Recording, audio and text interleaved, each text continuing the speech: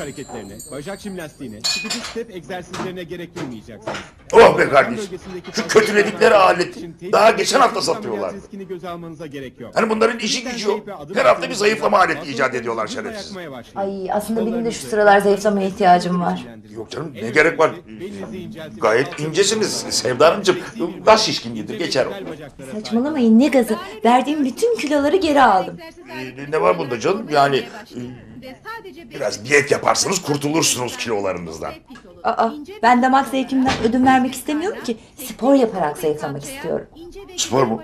Nasıl yani? Ne spor yapacaksınız?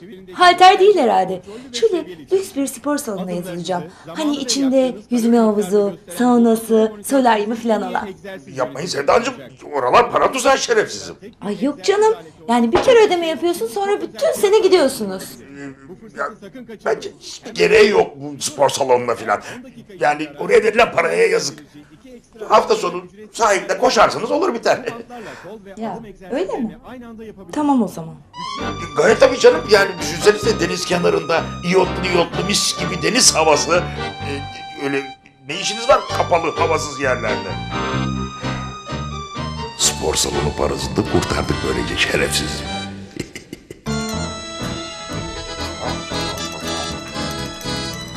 Kahvaltının mutlulukla kesin bir alakası var.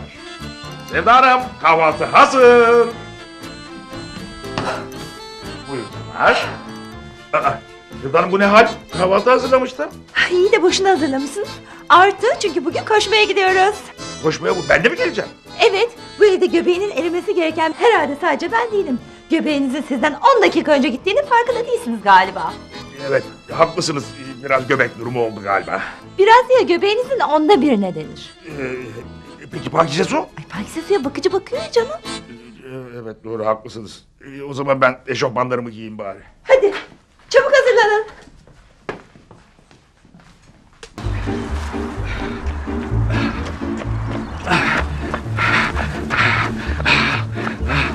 Öldüm bittim Sevda. Çok yoruldum biraz dinlenelim ne olur. İyi tamam ben de yoruldum zaten. Kalbimin güm güm sesini dışarıdan kulaklarımla duyuyorum şerefsizim. Bakın şurada bir yer var. Benim karnım çok acıktı. Orada brunch yapalım mı ne dersiniz? Bıraç. Ee, gidelim bari. Hadi.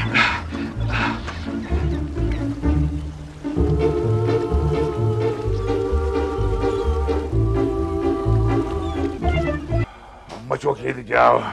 Yaktığımız bütün kalorileri geri aldık şerefsizim. Ee, açık havada koşu insanı acıktırıyor tabii. Ay acaba ben şöyle bir çikolatalı sufle daha mı yesem? Sahibi istedim Sevda Hanımcığım. Ee, Onu da bir dahaki sefere. Ay buradan en iyisi eve taksiyle gitmek. Değil koşacak yürüyecek halim bile kalmadı benim. E, taksiyle mi? E, ben yavaş yavaş yürüyerek gideriz diye düşünmüştüm ama öyle istiyorsanız. Ay siz çok istiyorsanız yürüyerek gidin. Ben biner bir taksiye giderim evime. Buyurun efendim hesabınız. Sağ ol evladım. Oh! Bu ne ya? Bu ne ya? Ya içtiğimiz bir bardak suya bile 5 milyon yazmışlar şerefsizim. Ee ne zannediyorsunuz? Fiyatlar gayet normal. Artı burası sosyetenin geldiği bir restoran. O yüzden fiyatlarının da böyle olması gayet doğal. Allah'tan kredi kartımı yanıma almışım. İnşallah kartın limiti bu hesabı ödemeye yeter. Ay ben bu açık hava koşularını çok sevdim. İyi ki sizi dinleyip spor salonuna gitmemişim. Ay yarın da diyorum ki şöyle bebek sahiline koşsak. Hem benim orada bildiğim çok iyi brunch yapan yerler var.